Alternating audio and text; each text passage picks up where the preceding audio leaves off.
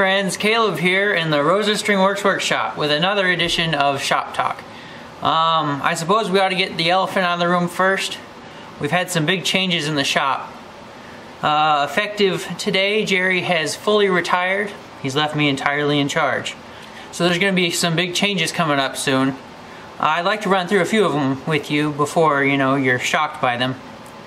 Uh, first off, we're no longer going to be working on mandolins or violins or guitars. From now on, the only thing we'll be working on is accordions. I just think this shop is a little more suited for that sort of work. Another big change is no more bluegrass music. We won't be doing it. From now on, it will be atonal or jazz. That's it. Another big thing for you to remember is the date. Today is a big day because it is April 1st, April Fools. All right, we've had our fun. you know, I, I, said to him, I said, okay, what good are you if you can't come up with a good April Fool's trick? And he says, well, what if we did that? So I said, perfect. perfect. So good job, Caleb, good job. Now, how many of you needed to, go change your underwear? or take a heart pill? Uh, no, we're not ready to quite do that yet, but who knows? It might happen. Anything could happen. I do think we have a pretty good shop talk for you today, and we're going to get into it right now. So I'll tell you the list of things we're going to talk about today, and the very first thing, though, is just, hey, we passed another milestone. We went past 61,500 subscribers. That's a milestone. Other people celebrate, you know, 50,000, 60,000. I celebrate 61,500. So, cool. Welcome if you're new. Some of the other things we're going to talk about are um, why I cut out the rose petals uh, and why I don't let the laser cutter do more of it for me. We're going to talk about uh, salt. We're going to talk about uh, some of my humidity supporters and a couple of things they talked about. We're going to talk about uh, a little bit of uh, the non-instrument videos, just very briefly, and I'm going to mention a few other things about things in some of those videos. So got just a few topics here. The first thing is related to the guitars and the peg heads. And I just happen to have one right here. Believe it or not, the California guitar is back in the shop here. And if give you a close-up look at that rose, and I have to turn it sideways, I'm sorry, because the camera's not able to accept it in a different position here the way I am right now. But if you look closely at those petals, and I don't know if it's focusing there, you can see that the grain orientation in each petal is going a different way. So the question came up in the video was why don't I just etch those lines in there and just cut out a single big rose and drop it in the hole be much easier. Well, that's true. It would. Uh, you know, obviously I've thought of that. the problem with doing that is it looks real plain. What, so what I do is I exploded all of the petals in the software, pull, pulled them all apart. Then I turn like each petal a different direction. So then when the laser cutter cuts them out, all of the grain is going in different directions. When you put it back together, all of those grains run together and it looks much more natural, looks much more like a real live flower. You know, it would be really simple, really quick to just let the laser cutter go in there and etch it all and stick it in there. It'd be one-fourth the time. Less than that, probably. But it just doesn't look as good. So that's why I do it the way I do it. And then the next comment about that was, why don't I just take a piece of tape, stick it down on there, and, and move it over to the hole and drop it down in there, you know? Yeah, well, that's the reason. Because it isn't, it isn't cut out in the shape of the rose. It's cut out in individual petals. And then you have to piecemeal put them back in there. And when they flip over on you, you can't tell which ones are flipped and which ones aren't. So it's kind of like working a jigsaw puzzle that has two sides to it. Anyway, it does make it look much, much better when you do it that way, rather than just etching it. Now, I do etch the design in a couple of little pieces, uh, just because they're so tiny that I, and that's why it only takes it a second to do the etching that I, that I do. But then I, it takes it a little while longer to cut them all out. And therefore, I think that addresses the questions that came up on that. There were a lot of questions on that. And uh, why I was doing it the hard way. Well, it's not doing it so much the hard way, it's doing it the right way, or the better way, or the prettier way. The next question that comes up all the time, every single time I glue two flat things together and they start sliding around, and I put the two little pins in there to lock them in place. Why don't I use salt? Well, I don't use salt mostly because I just don't use salt. I don't have a good, I mean, I've known about the salt thing for years. I just don't think it's a good idea to mix salt with your glue and uh, to get salt on anything. Uh, salt is incredibly. Uh, I don't know, just corrosive. But corrosive is the uh, is the problem with salt, and and I don't see any reason in introducing that into a pure woodworking project, and especially a high-end pure woodworking project. Uh, I watched Matthias Wandel one day go off on a rant on salt, and he does not use it either, and he will not use it, and I'm kind of the same way. I, I know there's just as many of you will comment on this video, I use salt and I've been using it for years and I've never had a problem. And I say, I got no problem with that. I'm perfectly fine with you using salt. I'm not telling you not to do it. I'm just saying I don't do it. Period.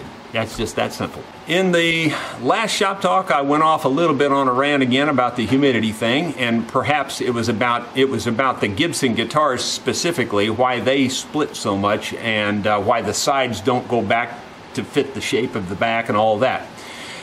Well, one person said they um, they used to humidify their instruments and the braces kept coming loose and uh, all kinds of problems. And that will probably happen more on an older instrument with hide glue because it softens the hide glue. But then again, everything causes hide glue to turn loose. It doesn't matter whether it's too much humidity or too little humidity, hide glue turns loose. But anyway, he said he was, uh, you know, humidifying instruments and he had to ship his guitar back to Martin a couple of times. Once he quit humidifying it, those braces quit coming loose. Now, I'm not saying there's a direct correlation, but you can draw your own conclusions. It's just simply the fact that wood is a sponge and it loves to suck up moisture. And when it expands, it wood expands very easily with moisture and it just causes your finish to crack.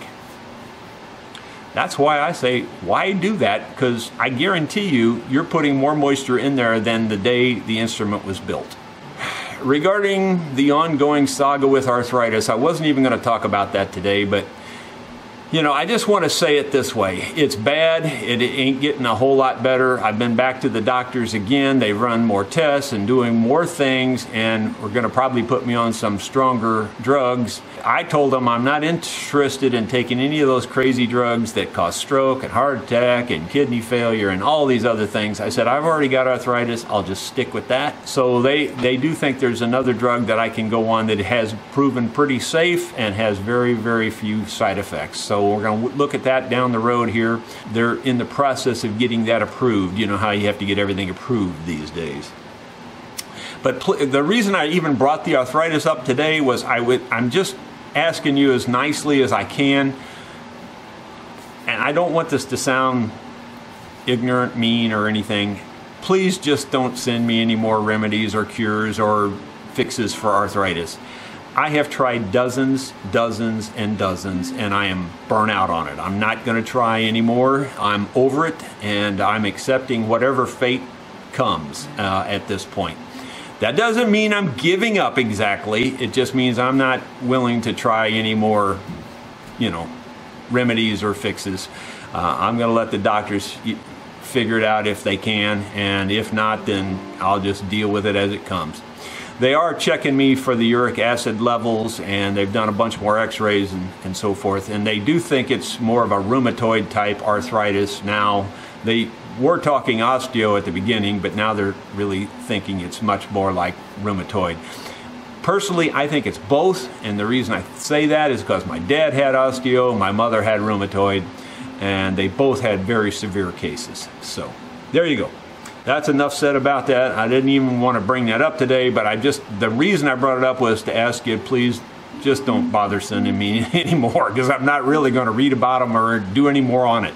I'm over it. So many people, and I just want to say thank you, thank you, thank you. We're very, very, very supportive on the non instrument videos that I show from time to time. As I mentioned in my About section on my main page, it says that I will do that. I, you know, I, it's from the day one it said that that I will introduce other kinds of videos occasionally, and there has been a few more recently than normally, but that's because I just got behind on so many projects and I need to get caught up on them. And there will be some more of those coming. So I hope you enjoy them. If you don't like those, then don't look at them. That's the best I can help you with that. Some of the comments about that were, uh, you know, and I thought it was a very nice comment, and it's kind of the way I feel about it. It was that uh, they felt like it was just friends showing friends what they're doing, and that's kind of the way I feel about it. I'm, you know, I'm just showing you what I'm doing. You know, if you want to see it, great. If you don't, that's fine. You don't have to watch it. Then the, there was a number of questions about the Bobcat cylinders, and they were saying, uh, do they work now that I fixed them? I didn't show them working. Well, the reason is I only fixed the first one. I didn't show the second one being fixed. But the second one was actually in far worse shape. I didn't show that, but it was in far worse shape. And the inside of the uh, cylinder was uh, scarred, uh, had lines down it.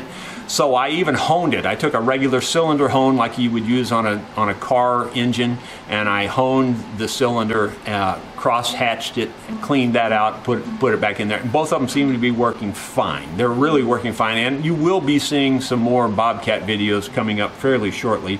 And the backhoe, uh, the way I modified the backhoe and the attachment and everything, the way that fits on there, that thing, it works as way better than I ever thought it would work. In fact, it works so much better on this big Bobcat than it did on the previous two Bobcats that why they don't make it for this Bobcat, I don't know, because it's much more powerful, moves it much faster. Uh, it's just like a real backhoe now, uh, just with a shorter reach. It only, it can only dig, I think, nine feet deep, something like that. But shoot, how often do you need to dig that deep? I don't remember ever digging nine feet deep four feet deep, you know, something like that. I dig quite often.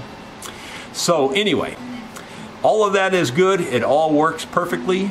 A couple of folks wanted to see how I sharpen my lawnmower blades after watching the chisel sharpening and the plane blade sharpening. And uh, because I mentioned that that lawnmower blade thing is how I got acquainted with grinders. So I'm going to give you a little demonstration on that. I think it could be helpful for you. Uh, I'm going to probably tell you a little more than you wanted to know about lawnmower blades. This is a new blade, of course, uh, that would fit my wife's lawn tractor. And I say my wife's because she won't let me touch it. she loves to cut grass. That's why I married her. anyway, it's got, you know, it's got the beveled edge here. Now, really, honestly, I don't think I can rub my hand on that hard enough to cut myself. I mean, it's this is fr fresh from the factory, and most people would just put this on and start cutting, and it would do a decent job. I'm not going to say it wouldn't. But her uh, lawnmower, or tractor, is different in a couple of respects. It was a a Great Dane, I guess you would say it was an entrepreneur type lawn tractor. The guy started a business and called him Great Dane uh, John Deere bought it out, and then I think they just closed it down, basically, I think. But I'm not sure. But anyway, uh, John Deere owns it now, apparently.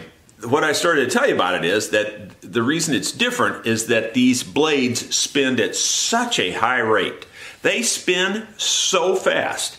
Now, keep in mind, you're talking about somebody who grew up with you know, in a lawn service business that had lots of lawn tractors, lawn mowers, etc., and so forth. I have never seen blades spin as fast as these blades spin on this Great Dane. And when you turn them on, it does sound kind of like an airplane or helicopter. I mean, it's going, it just goes crazy. I mean, they are just spinning so fast.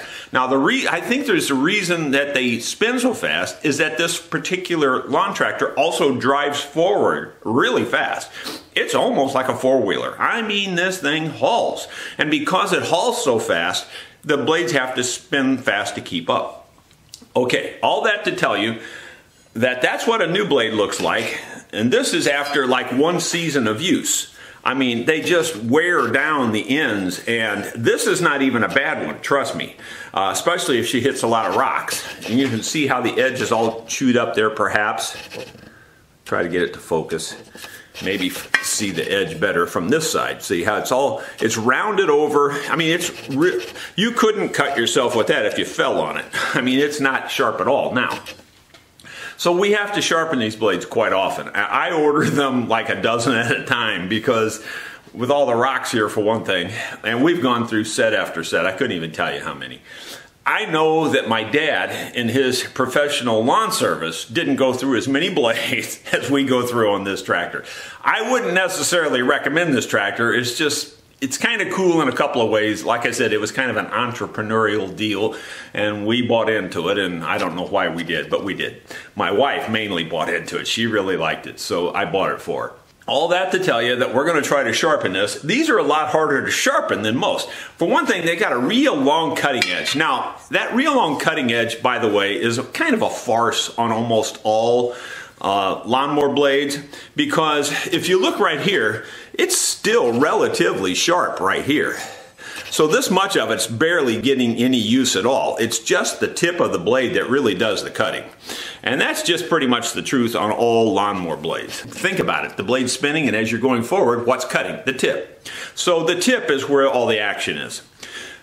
Somebody might want to know why these are turned up, and especially turned up even more so than maybe on some lawn mowers. These are really turned up pretty, pretty much. That's a lifting action. That it creates like a suction or a fan, kind of like a, a propeller or kind of like a, a airplane wing, and it lifts. So this lifts the grass, and then of course the blade cuts it off smoothly. Now, another couple of things that you may or may not know about lawnmower blades.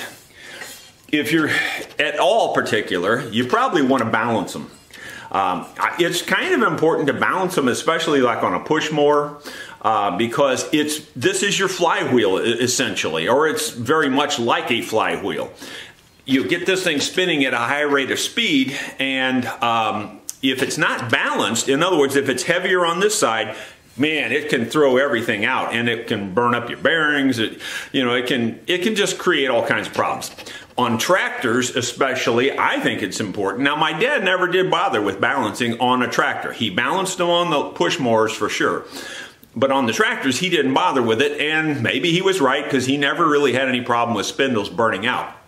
But on this high speed tractor that's spinning so fast, I want these babies balanced, and I'll show you how we balance it after we sharpen it. So here goes nothing. Okay, the first thing is, to be honest with you, I would prefer to sharpen these on the uh, rougher stone. But because they're cut the way they are, it's much easier to sharpen them over here and drag across. You can't sharpen here because the motor kind of gets in the way. It's just awkward. So, you know, if they were sharpened on the other edge, you could pull and go that way. Or I could switch the wheels, which is just too much work, especially for this demonstration. So I'm going to use the finer grit and um, I'm going to sharpen it, but I would prefer to be using the heavier grit. I'm going to go ahead and sharpen this full length, but the truth of it is, if I sharpen really from here down, I would be plenty good. Uh, it would be fine. Uh, but, but and, and by the way, this is kind of rounding around, and I basically just follow that because if you tried to grind all of this back to make a straight, perfect straight edge, you'd just be wasting your blade. So here we go. Safety glasses.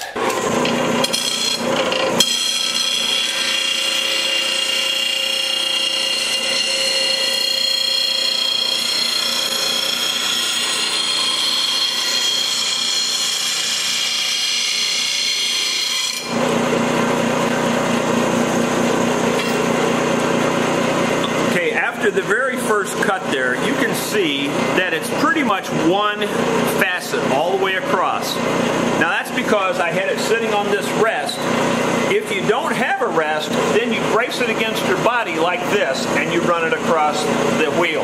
Now, my dad never had a rest, so I learned to do it this way, and I can do it just as accurately this way as I can with this rest. The rest just makes it easier. The real secret to, getting down to a good edge is to watch the sparks coming over the edge. And when they start just trickling over the edge, you're good. This one's going to take a while because this edge is really bad.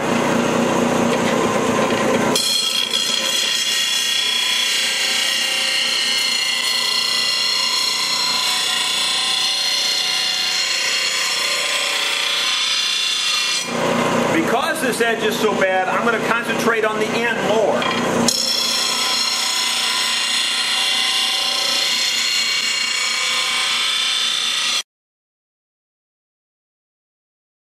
Okay, I, I have a few facets in here, but one continuous facet from here down. Now, this is not done yet. The problem is this is so worn and it's still so round that I'll never get to a sharp edge. Now, ordinarily you don't do a lot of sharpening on the back of a lawnmower blade. You just kind of run it across there. But because of the excessive wear on these kinds of blades on this particular tractor, it's kind of necessary to do a little bit of back grinding. And I don't normally recommend that.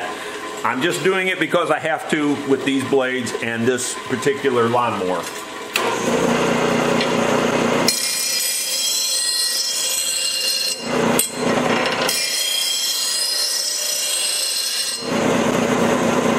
You could get by just keep grinding until you get it all the way back, but you're grinding away all your blade when you do that.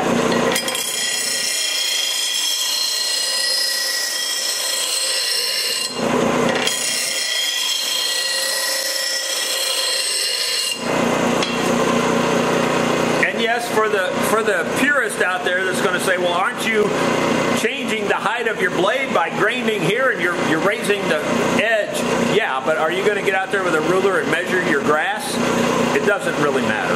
It doesn't really matter. So by doing this, I'm fine, I'm getting that closer to that fine edge that I can watch those sparks coming over the edge.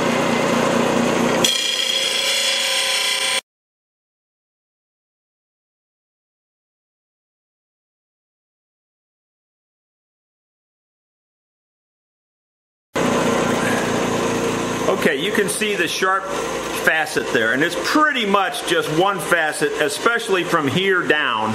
So a little bit of crud up here, but from here down, it's just pretty much one pure facet. One perfect grinding mark all the way down. And it's really pretty close, but if you look at the edge, you can still see it's kind of dull, shiny, if you will. I don't know, that sounds kind of oxymoron, but it's kind of a, a dull shine here on this edge. And you can tell that it's not razor sharp. Up here, it's pretty sharp. But down here where it was so rounded off, it's still not, the two edges still have not come together perfectly. So I'm going to work on that a little bit more, maybe even off camera, and then I'm going to show you the final pass where you're watching these sparks come over. Okay, I'm pretty close to that last pass here, so I'm going to show you. Now pay attention to the amount of spark coming over the edge. You want to try to keep that spark even the whole way. Like if you see sparks here and then you don't see sparks and then you see sparks, well then you've got a problem. It's not going to be a perfect edge.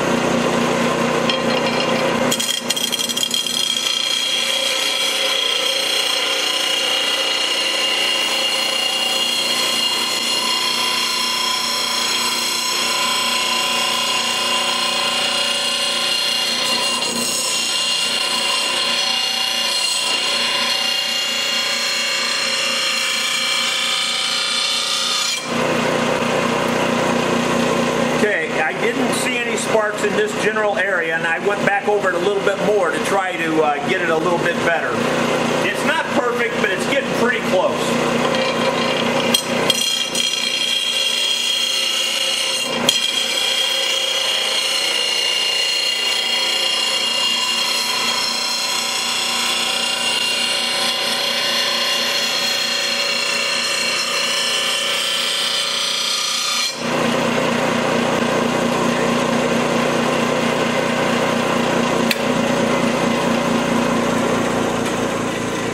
That's a pretty good edge. It's not perfect. It's not a perfect one facet either, by the way. I was moving a little bit there. But it's the edge was so chewed up, you know, it's really hard to get a perfect grind on a blade this bad. On a, on a new blade like that other new blade, it's pretty easy actually. Um, okay, but there's, there's the new blade or the new sharp edge and then you can compare it to the old edge. You know, I mean, like I did, I actually ran that one through by mistake, accidentally one time there, but but you can see there's really nothing there. I mean, you couldn't even cut yourself on that if you wanted to. This side, on the other hand, would pretty much slice your finger pretty good. Now, there's going to be some people say, well, that real skinny edge is why it goes dull so easy. Yeah, that's true, obviously. But on the other hand, have you looked at your grass and see the brown tops? Now you're talking about this is coming from somebody who's colorblind and can't see that anyway. But you'll whenever your grass is turning brown on top, that's because your blade is dull. If you have a really sharp blade, it will cut through and your grass will stay perfectly green on the top. Your grass will actually grow better and and be, and be better producing looking lawn if your blade is really sharp. Off camera, I'm going to go ahead and sharpen this side here, and then I'm going to show you how we balance this. Okay, I have one of these little cone blade balancers here, and if you want to know where to get one of these, you, most of your box stores carry these in the lawnmower section, wherever, you know, like if you're talking, you know, like a hardware box store, uh, wherever they sell lawnmower blades, they generally have these, and they're inexpensive. So you the hole, this, these rings will fit the hole here, uh, and you just have to kind of set it on there. And if it doesn't fit the hole, you just kind of have to get it sort of centered there as much as you can. And you can see that this side is heavier than this side. So this side is going down. So I need to grind a little bit more off of this side. I'm going to do that off camera and I'll bring it back and we'll see if we can get it to balance Okay, so this is the side I ground because this was the heavy side. So let's see if it's still heavy. Still just a teeny bit heavy. I took a pass and a half off of this. So I'm going to take about one more good pass and, and concentrate on the end the most because the end, of course, is where the most weight would be. Uh, you know, to, would affect the balance the most. So anyway, I'm going to take another pass on this side here and see if it's still heavy. I took another pass and a half off of this heavy side. Let's see if it's still heavy. It's just the teeniest bit heavy, but it's really close to level now. So I think I'm going to try one more little pass, light pass, and it should be just about perfect. Okay, I took actually two half passes, and uh, you know, that's because this end needed cleaning up anyway. And this will either be just right or maybe a little bit too much. Boy, that's perfect. I mean, like it's perfect. It just sets there perfectly. It doesn't go up or down. And another way you can kind of test it is to spin it. I spin it backwards to see if it does anything crazy, you know. Pretty flat, pretty flat. So that blade is really balanced it won't give you any trouble if you put that on your spindle, even under these super high speed blades. And I mean, seriously telling you, these are high speed. So I hope you enjoyed that little uh, segment on everything you wanted to know about a lawnmower blade and then some. Hope that helps you. Also, uh, so many of you are following along on the 12 string build, and I thought I'd give you a quick glance at it. It's in the finishing stages. We're getting some finish on it. We're using the Tru-Oil varnish and it's going really well, but the finishing stage is the slowest part and so the videos are going to be fewer and farther between on this till we get her finished up. I just wanted to kind of let you know what the status is on that so that you uh, can uh, rest easy and not wonder why we aren't putting out more videos on it. That's the status. Well, for the tip section of the Shop Talk today, I went through thousands and I mean literally thousands of comments trying to find a subject that I could do a tip on this morning or today, I should say, and just couldn't really come up with anything. I feel like I've covered everything just about there is, and uh, one one video or another. So I decided to talk about things that I, tools and jigs and things that I use in the shop that mostly that I've made or modified. So let's just pick one and start. Let's start with this one. This, as you can see, is just a C-clamp, and in this case it is a Craftsman 4-inch C-clamp. I just took a piece of flat steel, welded it right along here, and uh, you could braze it along there if you didn't have a welder but you had a torch you know and that's all I had at first was this skinny thing. But that was kind of awkward a lot of times and sometimes I needed to put it in the vise a different direction like this only let me put it in the vise this way. But if I once I put this square block on there then I could turn it in the vise in, in any of the directions real easy you know and so that that was helpful to have that square end on there. So you could just use a square tube rather than this flat bar to weld to your uh, clamp if you wanted to. Anyway, so what's the purpose of this? Well, uh, mostly I built it for holding mandolin necks. Uh, when I'm working on the mandolin or, or like especially you could put put the mandolin neck in here, clamp this down on the flat top of the neck and then you could do the binding on the body would be one example but there's other reasons you work on instruments too that you need them held. And this is and so I lined this with uh, leather. This is just a piece of pipe that I uh, you know cut half in two. It's just a piece of pipe and then I put leather in there. And it works really well. It's just welded in there again and I didn't really have to modify the clamp itself other than just to add this piece of pipe and to add the handle onto it really is all that amounts to. Then I got to thinking, well, you know, it would be nice if this thing could handle more than just mandolins. So I made this little uh, thing here that fits in there just nice and snug. And then I can put guitar necks in here now too.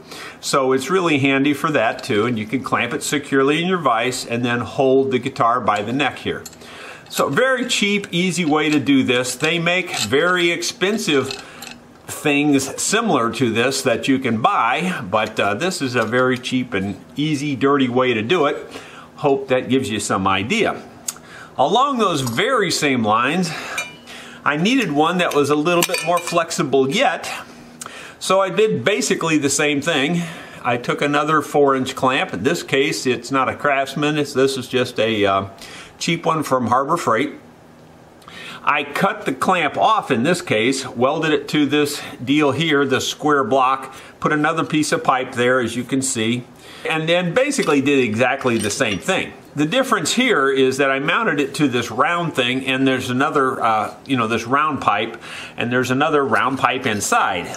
So really when you take it apart, all it is is a piece of pipe welded there and then another piece of pipe and I went ahead and put an end on it just so that it can only slide into that end. You know, it didn't have to have that, but it was kind of nice. And then I just put a threads in here and screw in here, and I can I can lock this in the vise, and then I can turn the guitar, you know, in different angles and stuff like that. Or you can lock it in the vise this way and you know you can have the guitar vertical if you want to. You know, I mean there's it, this is really really really flexible. You can do a lot with this. I even use this in the vise here on my desk and set it in, you know in different ways. Um, you know, I can lay it like this and hold the neck right here at my desk. So it's really handy. This is a very, very, very handy outfit. Again, it's just two pieces of pipe, that happen to kind of work together. You know, they're, they're, they they fit pretty pretty good. Um, again, you can put adapters in there. Uh, there there's leather in there for uh, the necks, and then you can make other adapters to. Uh, to, like if you want to turn the neck upside down in this, you can do that too. So I made this little adapter for that. You can sit this in here. Now that now you can take the guitar and put the put the uh, flat down and uh, clamp the backside with this. And of course you need to put leather in there if you do that just to keep it from marring it up. But anyway, it, it's very, very flexible. Cheap to make, just takes a little while if you've got a welder and you know, uh, especially if you got some way to cut the steel like, you know, a, a grinder uh, cutoff wheel or something. Um, it doesn't take very long to make something like that. So those two little jigs there are very handy. I think you'll like those. One of my other original creations is this little deal. People are always seeing this and what is that? Where'd you get that? This is just coat hanger wire it depends on the size of guitars you're working on. Sometimes you need a couple of different sizes of these. But basically, this just hooks over the end pin, like so. This comes up over the end of the guitar. You've seen it many times. And then there's just a hook on both sides where I can hook both E strings of the guitar. And um, I can run it up to the to the tuning keys. And then I can float the bridge or the saddle or both and, and float them and move them around and tune it and check intonation. Um, this is just really a handy way. Now you could just use a regular guitar uh, tailpiece that hooks to the back of the guitar too and modify that. I mean, you, you, there's any infinite number of ways you can do this, and I know some of you have done that. Um, I also made this one, and I was trying to make one that was a little more high quality than this, I guess you'd say. And I put a slot in here, and then you can put a screw in um, at different heights depending on where your end pin is. And uh, I just cut two little slots in there to grab the strings. Um, this was just some aluminum extrusions I had laying around. But, you know, there's just an infinite number of ways to skin every cat, you know. And so that's just a couple of ways there. And we do use those quite often here in the shop. Another thing that we do all the time is take things apart. Fretboards, you know, uh, tops off, backs off, that kind of thing. So you got to have tools that fit into slots. Well, I've shown this a million times. Um, I haven't talked about what it is exactly that often, but this is, I believe this is an old uh, artist palette knife. I'm pretty sure I bought it new, but I bought it new 40 years ago or 35 years ago. And um, anyway, I ground the bottom edge of it off here so that you can get down flatter, as you can see. And then I shortened it up. It was quite a bit longer, and I shortened it for the stiffness. And of course, it's gotten shorter over the years as I've sharpened it and sharpened it and sharpened it. But anyway, uh, you want a blade that's really thin, but yet really stiff too. Not one that's too terribly flexible. Uh, if it's real flexible, you'll bend it. Case in point, here's another uh, artist palette knife, and this is one of the really flimsy ones. Look how that bends. That's not a whole lot of good for really, when you have to get in there really hard and press but you can heat this one up really good and slide it into a thin crack. So it's still valuable. It's just not as good for really forcing something apart. Like this one's much better for when you got to use a little bit of force. This one here's better when you just have a real fine crack and maybe you just need some heat back in there to melt the glue or something. Um, so I use different things like that. I also make them. Um, this is, I think, a putty knife blade that I just reshaped. And it's it, uh, the putty knife blades are really good. They're very strong, they're thin, and they're flexible. So they've got everything going for them.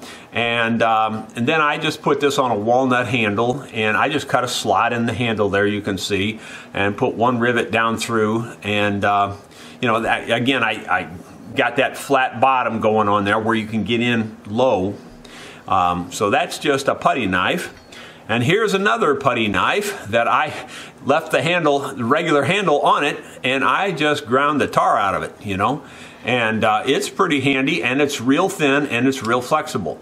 But again, on anything that flexible, if you're pushing really hard, you'll fold it up and bend it.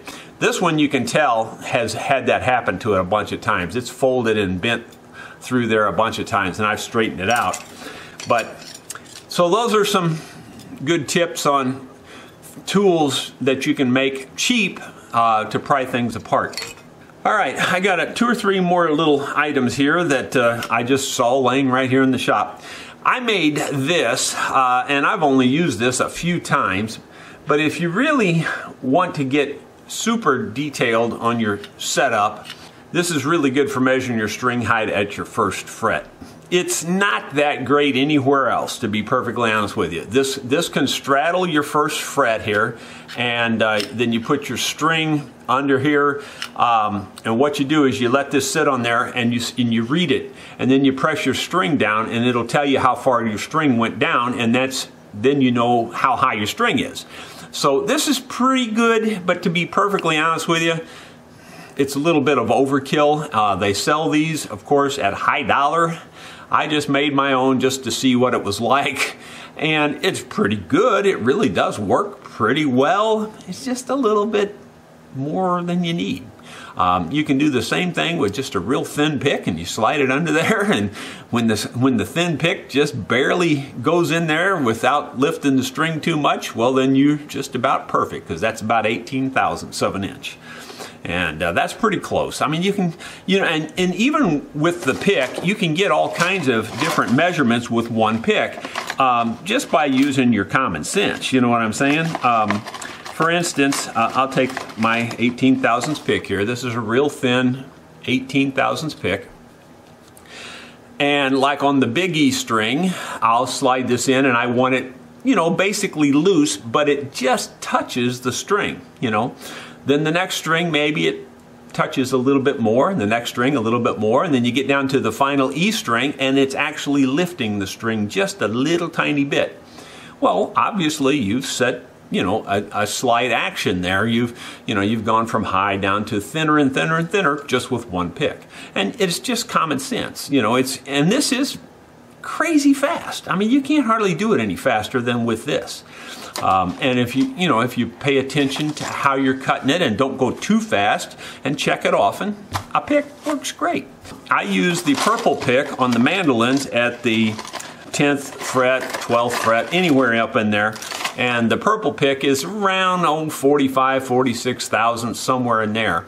And if you can hold, you know, if you can hold this at the from anywhere from the seventh fret on back a little bit, uh, and you can still hold this and play with that buzzing, your action's pretty dang low. 40 thousandths is, you know, 45 thousandths is pretty low. So you're doing good. Again, just common sense type stuff. Uh, here's another deal where I used another one of those um, uh, indicators. These are called indicators, by the way. They measure in thousands of inches.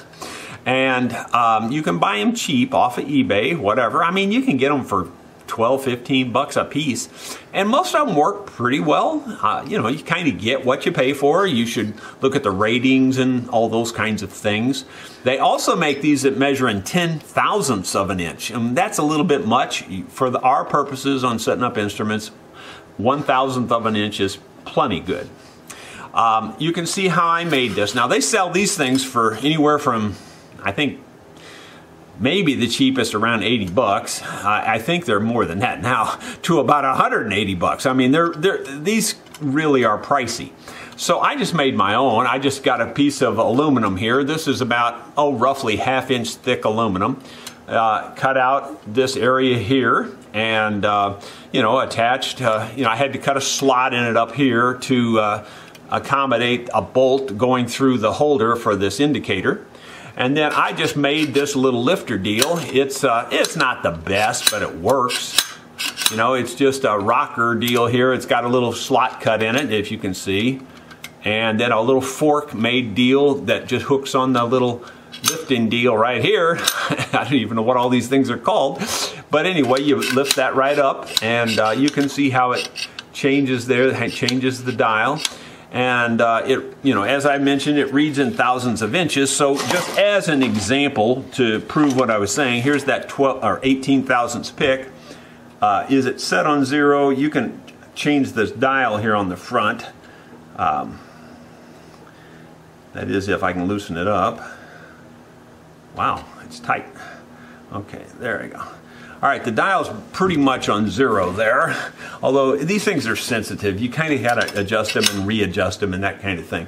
All right, so this should probably read to your deal there about 18 thousandths. I'm going to look and see. Reads right at 19 thousandths at the moment. You know. So, I mean, these are very accurate uh, indicators and things. Anyway, this is for use for measuring the thickness of a top or a back or anything, and it can be on a guitar or it can be on a mandolin or whatever, violin, whatever. So this is a very in, indispensable tool. I also made an adjustment here where I can, you know, help get it to the uh, to the zero. So this can screw up and down too. Um, I rounded that the head of that bolt off so that they kind of meet in a point. You know, it's just again simple common sense stuff. I two little uh, screws that go into the bottom of the aluminum here. You do have to learn about you know drilling holes and threading holes and things to make stuff like this.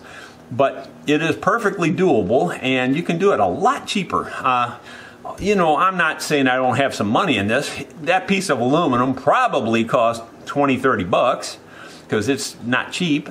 And this indicator probably cost 20 bucks. So for 40 or 50 bucks, I made this thing, possibly less, if you have, especially if you have some of the material laying around. But that's a lot better than at least twice that price if you go buy it.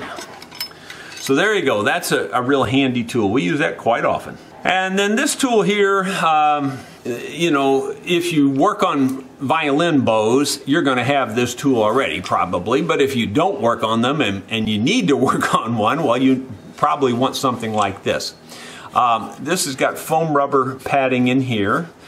And uh, you can see how you can tighten this up here on the edge. And then you, you put the, the tip of the violin goes up here and you can leave the hair sticking out and uh, the frog goes back here and again you can adjust and then it of course is adjustable this way too for the different lengths of bows. And um, anyway you can this little extra thing here I, I it's just a little I put a little screw on a deal here and what I can do is I can drill a hole into something. If something's hard to pull out like the little wedge or something I can drill a hole in the wedge screw this in and pull it out. So this is that's all that's for when I'm working on bows. But I make all kinds of tools and things. But uh, anyway, that's what that is. It's not much to it, but if you work on violin bows, you need something like this. I'm sure I got this is not my original idea. Many of, many of these other things are, but this is not my original idea. Here, I'm uh, sure I saw this in a book and uh, made it from a book. And here's the final tool I made. And when you need this tool, and I don't need it very often, but when you need this tool, you really need this tool. It's handy. Boy, it is so handy when you need it. And you look at it and you go, what the heck is that? Um, it's got a hole through here and you can see it's I used an old violin tuning key because they're good for nothing in my opinion anyway it, it works. This rotates. If you spin it you know this this little deal here spins. There's a hole in there. Obviously you still put a wire through there. And then this hole down through here goes through a tiny hole in a guitar top or mandolin top or whatever, you can put a button on the end of there and a, a or a washer or whatever, and you can go through your brace and uh, lift. You can take this and lift that brace on the inside of the guitar and uh, you know uh, glue it and all that whole bit, and then this and then crank it up tight, and this will absolutely crank it tight. Trust me or you know any other number of things where you need to lift something inside the guitar or say you have a sagged spot in your guitar and you're trying to lift that little sagged spot you can use this to lift it you know put again you'd have to put something on the inside of the guitar to drill a tiny hole just big enough to get your wire through and uh, put a plate or uh, a caul or anything on the inside and it, maybe you want to lift it up and uh, then you just do this and you can just lift it. Boy, I mean, you don't need this very often, but when you need it, this thing is flat awesome. You can make this out of wood. I made it out of a piece of uh, uh, plastic uh, rod, uh, basically, is all it is. But you can make this out of wood. It wouldn't have to be plastic or anything. Um, but very simple, really, but super handy when you need it that's going to do it for today. Those are your tips for today on how to make some of your tools and things. If you have uh, questions and things that you think might be of interest to a wide audience, be sure to put those in the comments and I'll use those for food for thought for the next Shop Talk. Thank you so much for watching. Y'all have a great day. April Fools.